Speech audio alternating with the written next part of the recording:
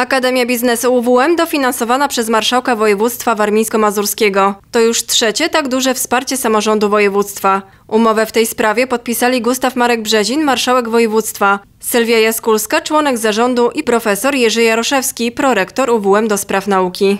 kiedy e, powstała idea uruchomienia Akademii Biznesu, e, rozpoczęliśmy rozmowy z Urzędem Marszałkowskim celem pozyskania wsparcia, ponieważ jest to dość kosztowne przedsięwzięcie i bez tego wsparcia, no na pewno w takim wymiarze, w jakim funkcjonuje Akademia Biznesu, byłoby to niemożliwe.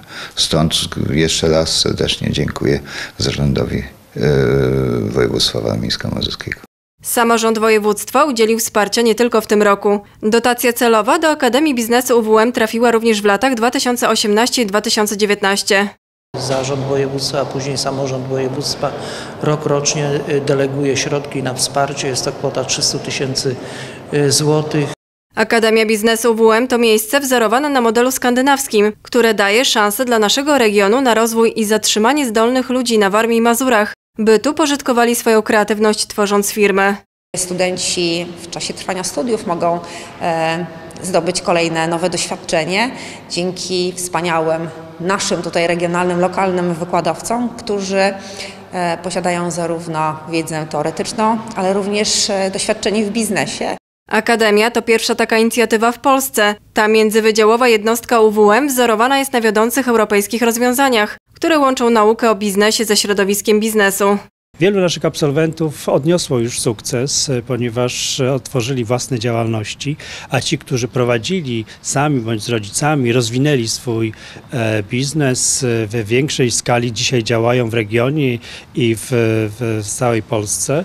E, mamy pozytywne przykłady z takich branż jak geodezja, jak rolnictwo, hodowla pasz, mikrowarzywa. To są pozytywne przykłady naszych absolwentów, którzy rozwijają się i mogą zrealizować e, nie tylko siebie w biznesie, ale także zrealizować swoją pasję, o której myśleli bardzo, bardzo długo.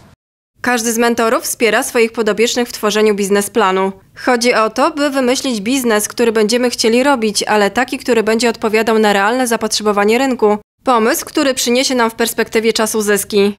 Po zakończeniu pierwszej edycji Akademii Biznesu razem z jednym ze studentów e, utworzyliśmy spółkę z ograniczoną odpowiedzialnością, spółkę innowacyjną, która ma zająć się em, skomercjalizowaniem e, jego pomysłu. Spółka Visus VR ma zająć się stworzeniem symulacji z zakresu udzielania pierwszej pomocy z wykorzystaniem wirtualnej rzeczywistości. To nie będzie stricte symulacja tylko w formie elektronicznej, ale kursant wchodząc na salę szkoleniową będzie miał faktycznie fantoma, który e, w tej sali będzie się znajdował, ale dodatkowo otrzyma gogle VR. I za pomocą tych gogli przeniesie się w świat wirtualnej rzeczywistości. Będzie wykonywał wszystkie czynności na fantomie zgodnie z algorytmem Europejskiej Rady Resuscytacji.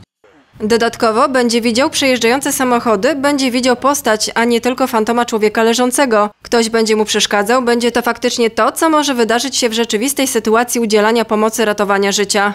Uważam, że to za dobre przygotowanie, bo nigdzie w całym Olsztynie nikt nie przygotowuje do prowadzenia biznesu. Mamy podstawy ekonomii, zarządzania, ale nigdy tak chłodnych teorii, doświadczenia praktyków biznesu nie mieliśmy, a Akademia Biznesu dała nam kontakt z osobami, którzy są praktykami biznesu i to jest największa wartość Akademii, że tam nie są wykłady teoretyczne, suche, tylko po prostu trenujesz, robisz projekty z osobami, które mają doświadczenie, osiągnęły pewny sukces w prowadzeniu biznesu. Wielu uczestników prowadząc działalność gospodarczą na bazie wiedzy wyniesionej z zajęć z sukcesem ją rozwija i unowocześnia. Na dorocznej konferencji Akademii Biznesu UWM w październiku studenci prezentują szerszej publiczności swoje pomysły na biznes.